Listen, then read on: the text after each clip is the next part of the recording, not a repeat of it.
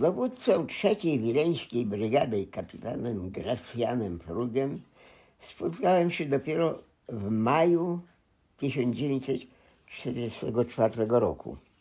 Brygada mm, akurat była po zwycięskiej akcji w murowanej Uszmiance, której rozbiła jednostkę wojska litewskiego, tak zwanych plechabiciusów, powołaną przez Niemców w celu walki z polską partyzantką.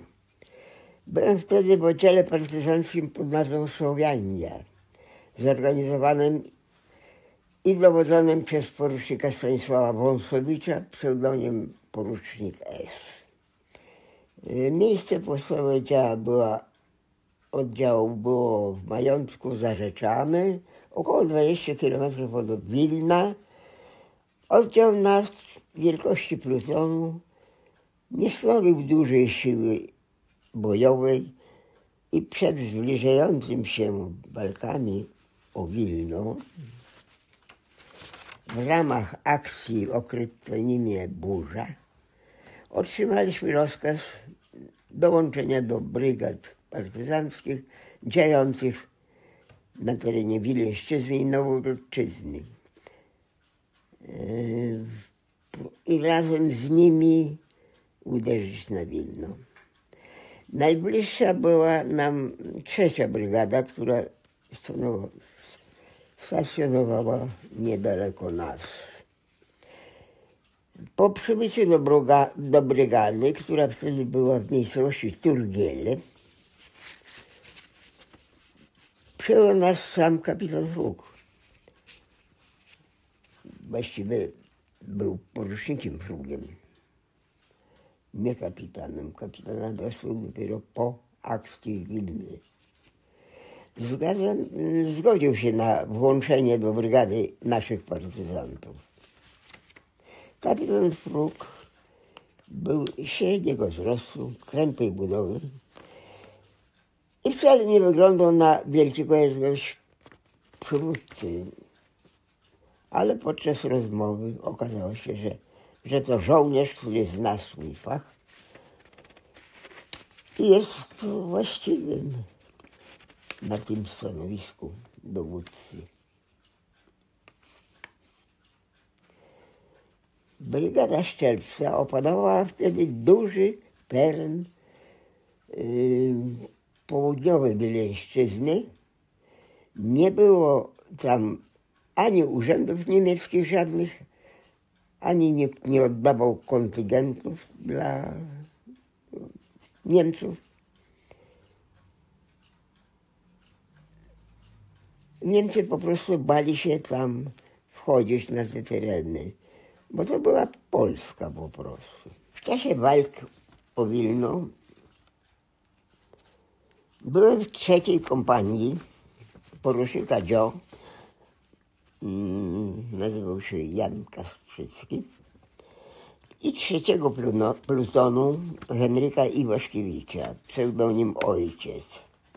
Mój dowódca, ojciec, zginął podczas ataku plutonu na niemiecki pociąg pancerny, który stał w kolonii kolejowej pod Wilnem i tam nasz pluton uderzył i jako pierwszy nieomal padł dowódca plutonu ojciec. Nasza brygada z jej dowódcą Szczerpcem była sławna na terenie Wileńszczyzny.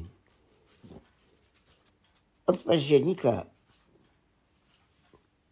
1943 roku z małej grupki kilkudziesięciu ludzi, zaraz tam było ich 24,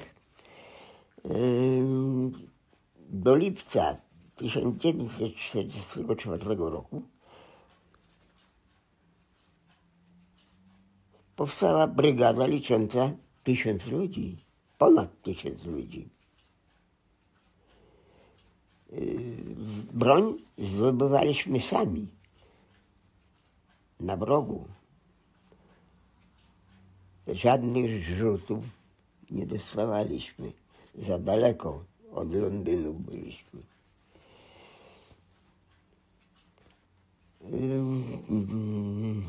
Brygada miała własne samochody, szwadron kawalerii, kompania CKM-ów, pluton granatników. Brak było tylko artylerii. Ciężkiej broni artylerii. Dlatego akcja na Wilno rozpoczęta 7 lipca 6 w nocy na 7 lipca 1944 roku nie była w pełni udana.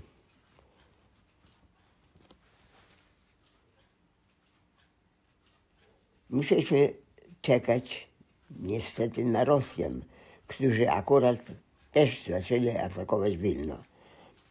Bo już 8 lipca przybyły artyleria i czołgi, pierwsze czołgi rosyjskie. Znając ten teren, dołączyliśmy oczywiście do nich i byliśmy ich przewodnikami aż do końca działań wojennych.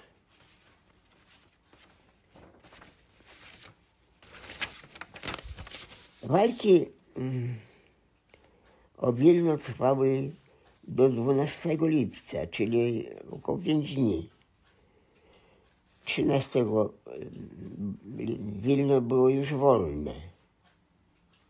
W czasie tych walk zostało rannych ponad 120 partyzantów z naszej brygady, a 56 zabitych. Cześć ich pamięci.